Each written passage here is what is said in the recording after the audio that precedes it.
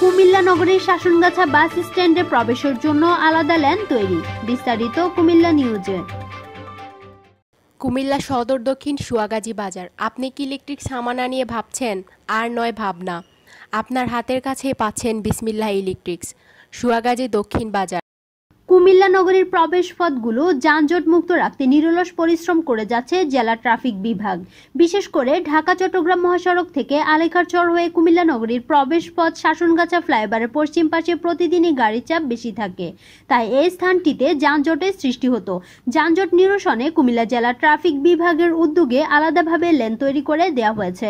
ফলে ফ্লাইওভারের পশ্চিম পাশে যানজট কমে আসবে। কুমিল্লা জেলা ট্রাফিক পুলিশের পরিদর্শক এমদাদুল হক জানান, কুমিল্লা নগরীতে প্রতিদিন চোদ্দটি পয়েন্টে ট্রাফিক পুলিশ যানজট নিরসনে কাজ করে যাচ্ছে।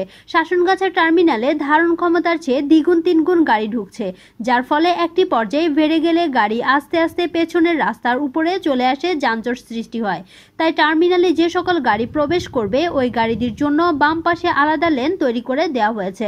চালকরা নিয়ম মেনে চললে যানজট কমে আসবে বলে আশাবাদ ব্যক্ত করেন তিনি।